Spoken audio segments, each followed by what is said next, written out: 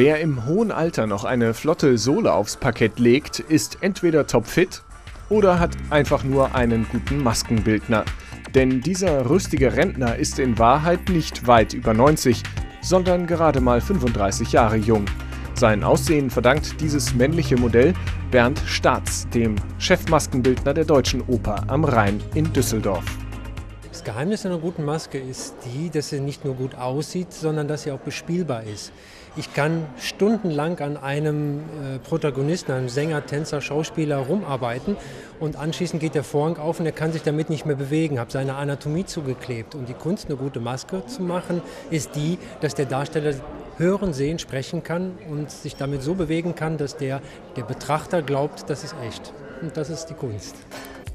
Die Make-up Artist Design Show in den Düsseldorfer Messehallen wird sich ganz dem Können von Bernd Staats und anderen internationalen Maskenbildnern widmen.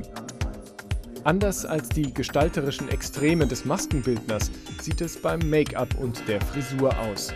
Hier geht der Trend zu elegant und dem Schick der 50er Jahre zurück. Kräftige Farben an den Augen kombiniert mit dezenten Pastelltönen im Gesicht und den Frisuren aus jener Zeit.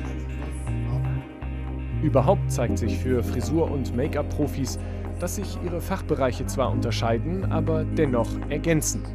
Da gibt es natürlich ideale Synergien. Ein Friseur interessiert sich auch für Make-up, wie Sie sagten, macht auch Hautpflege. Es gibt Friseure und Friseurgeschäfte, in denen kann ich die Nägel, die Fingernägel machen lassen. Es gibt Friseure, da gibt es Fußpflege. Also da gibt es natürlich auch Synergien. Deshalb haben wir diese Messen auch zusammengelegt. Aber jede Messe hat für ihre Branche, für ihren Besucher eine eigene Identität. Beauty Top Hair Make-up Artist Design Show. Ein umfangreiches Programm, sprichwörtlich von Kopf bis Fuß.